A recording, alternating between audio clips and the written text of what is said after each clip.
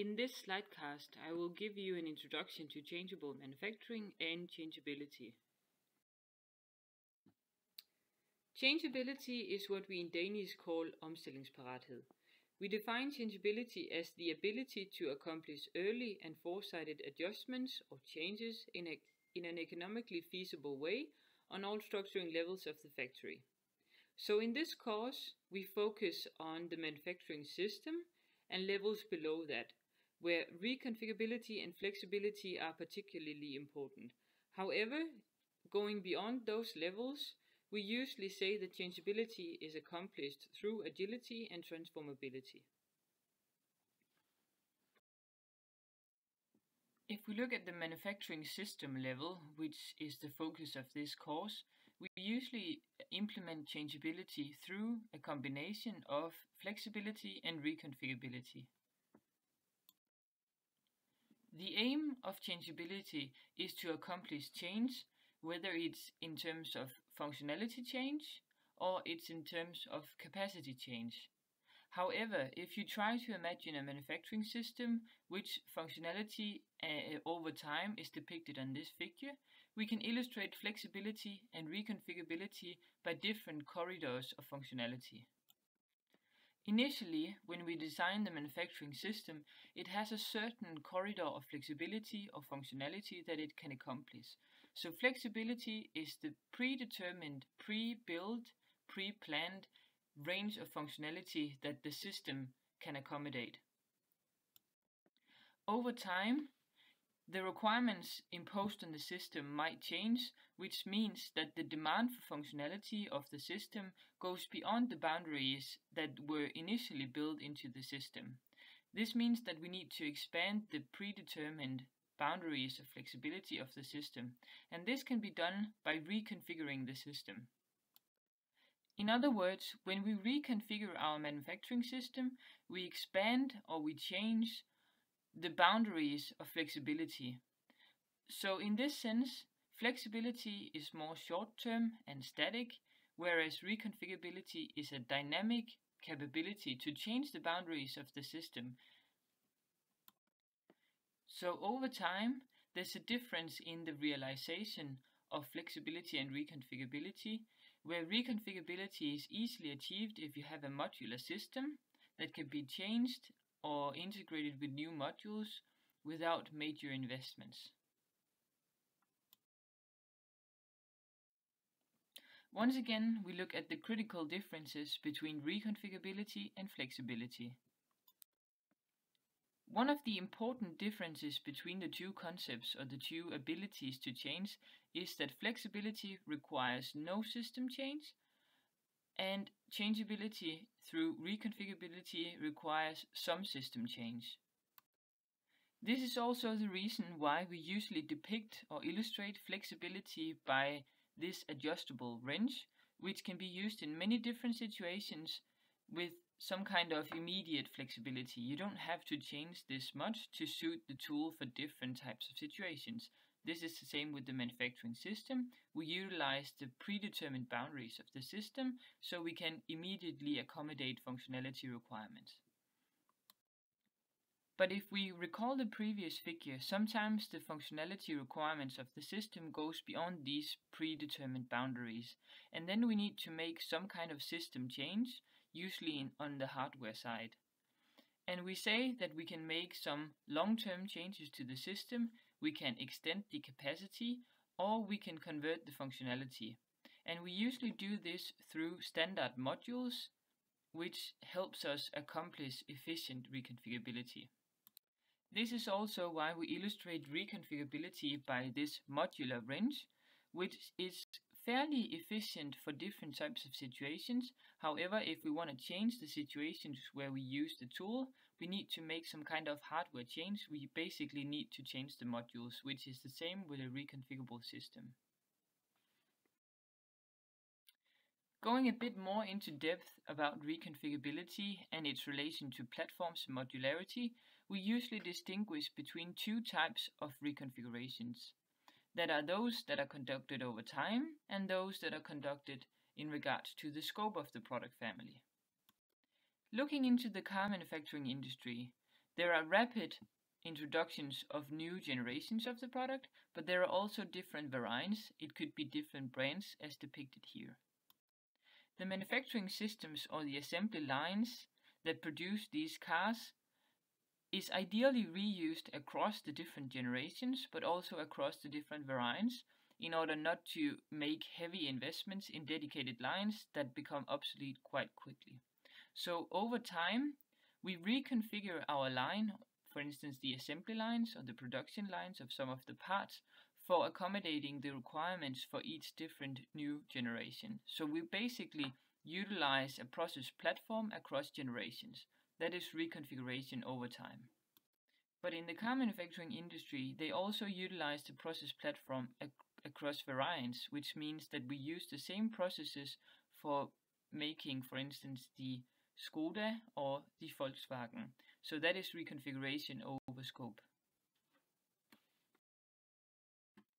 Now we know the critical differences between reconfigurability, changeability, and flexibility, where changeability is an um, umbrella term that covers flexibility and reconfigurability are most often a combination of the two. If you look a bit closer at changeability as an umbrella term or a concept, there are different fundamentals that we need to be able to understand. First of all, the reason why we want to be able to design and develop changeable manufacturing systems is because we want to respond to change drivers that can be external or internally imposed. These change drivers could be change of demanded volume, change in required technologies, a new strategy of the company, it can be different changes of variants or rapid introduction of new products. So basically all types of change imposed on the manufacturing system that we need to respond to. In order to respond to these change drivers, we need to assess these when we develop manufacturing systems. So in order to develop changeable manufacturing systems, the first step is to determine and evaluate the lifetime requirements of changeability that the system should be designed to meet dynamically and efficiently. So we do not only make manufacturing systems that are suited for one product or the immediate situation, but we try to assess the change drivers that are imposed on the system in the long term in order to make a system that is dynamically changeable through, for instance, reconfigurability. Having determined the requirements of change that needs to be accomplished in the system, we need to determine how we want to accomplish these changes. Usually we say that changeability, whether it's flexibility or reconfigurability, is implemented in a manufacturing system or other levels through change enablers. These change enablers can be modularity, scalability, convertibility, and there are many other types of enablers, and they're usually distinguished as being either soft or logical or being hard physical enablers. But the second step when we develop and design changeable manufacturing systems is to determine the right enablers of change in terms of the type, the level of implementation, basically the structuring levels of the company, and the constituents of the manufacturing system in which these enablers need to be implemented. This notion of changeability enablers can be a bit hard to grasp, but try to imagine that you have a manufacturing system which is composed by humans, IT systems, material handling, storage systems, and machines. These are some of the important elements that a manufacturing system has. In order to accomplish change in this system, we can uh, implement physical hard enablers and logical soft enablers. A physical enabler could be a layout change, for instance, adding, removing, or changing modules of the system to make a different layout to accommodate a different process sequence, for instance. It could also be adding, removing, or changing machines of the line, or we could change the system location. These are types of enablers that physically change the structure of the system. Looking at the logical or soft enablers, we could, for instance, scale the number of operators or the time that they work in order to scale capacity, so a reconfiguration of capacity.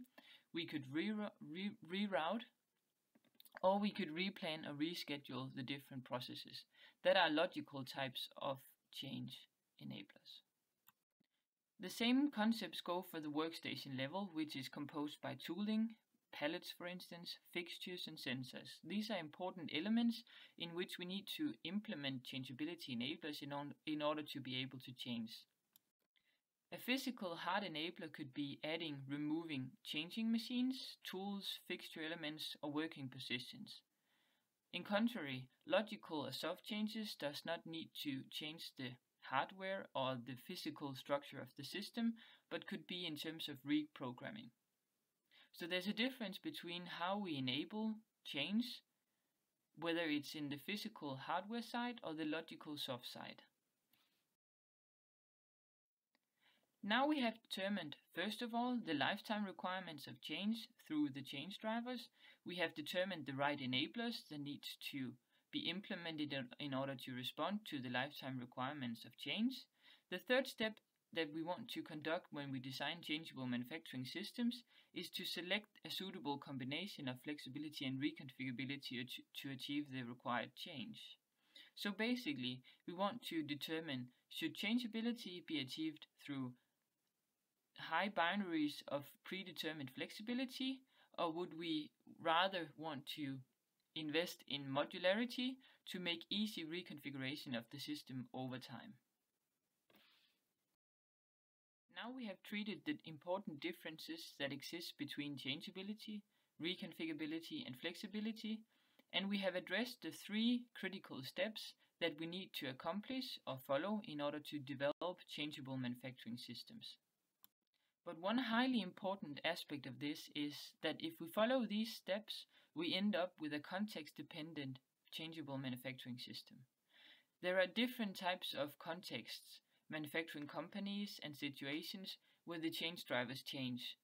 And depending on the change drivers, we choose different combinations of flexibility and reconfigurability, and we also choose different combinations of enablers and different levels of implementation.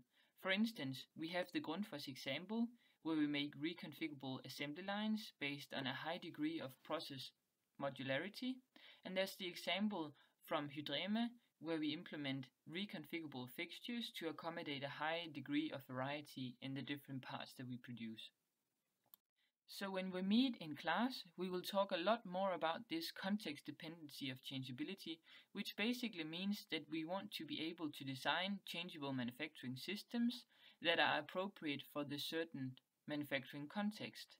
In doing this, we need to determine whether we want to invest in a large range of flexibility prior to its utilization, or we would rather want to implement a limited range of flexibility and enablers of reconfiguration so we can change the system dynamically over time.